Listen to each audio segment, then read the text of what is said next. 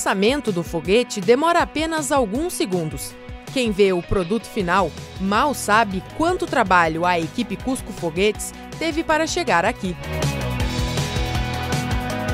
A primeira coisa que a gente fez foi uma vaquinha na internet, que a gente conseguiu pouco dinheiro, porque não teve muita divulgação, assim, as pessoas tinham receio de doar. A gente também conseguiu dinheiro com os professores e parentes. A gente vendeu yakisoba no colégio, a gente fez uma, uma participação no Music Day, que é um evento de, de música no CETISME. Então a gente vendeu almoço lá, a gente também vendeu rifa e docinho.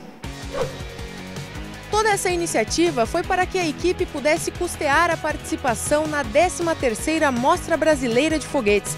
Milhares de escolas se inscreveram para participar, mas apenas 50 foram selecionadas. Dentre elas, o CETISME. Foi muito enriquecedora, né? A gente trocou conhecimentos com pessoas de todo o país, a gente teve a oportunidade de ouvir uh, palestras de, de, de, especialistas, né? De gente que trabalha muito nessa área. A gente ouviu outras 50 outras 50 equipes. A gente ouviu as melhorias que elas fizeram.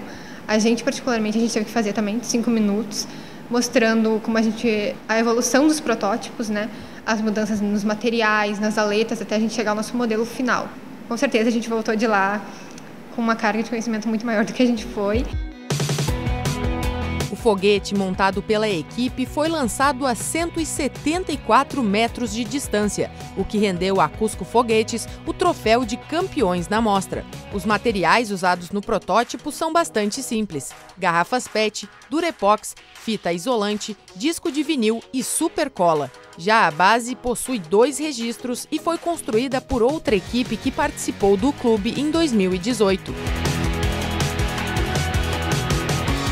Primeiro a gente coloca bicarbonato misturado com água e depois o segundo a gente abre para que esse bicarbonato ele entre em contato com o vinagre que vai estar dentro do foguete. Na base ela também tem um manômetro que ele uh, mede a pressão que a reação vai gerar. Quando a gente libera o bicarbonato para entrar em contato com o vinagre, vai ocorrer uma reação química que um dos componentes do vinagre, que é o ácido acético, vai reagir com o bicarbonato de sódio.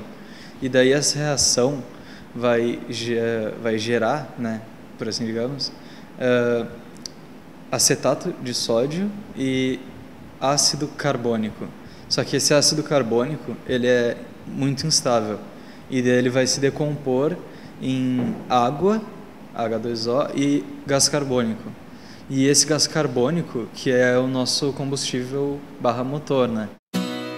O Tiago é professor de Química e ingressou no projeto no início deste ano.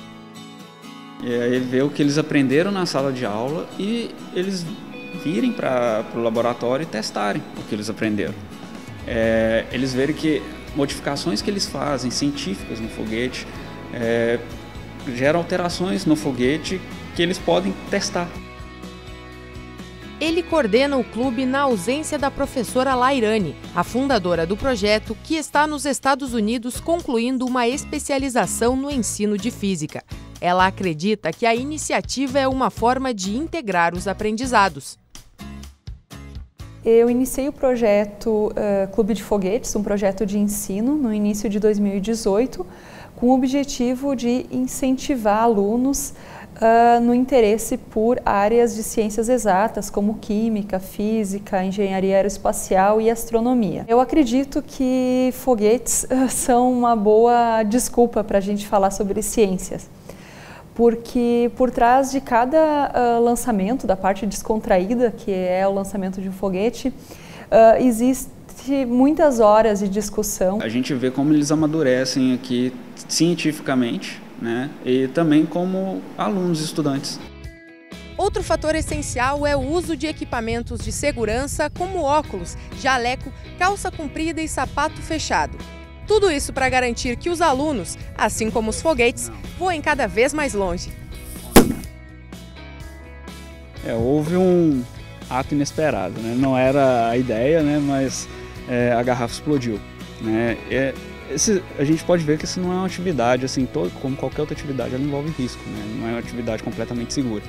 Por isso que eles usam materiais de segurança. Não era o objetivo, mas para a gente também isso é importante, porque a gente consegue analisar o comportamento dos materiais que a gente utiliza.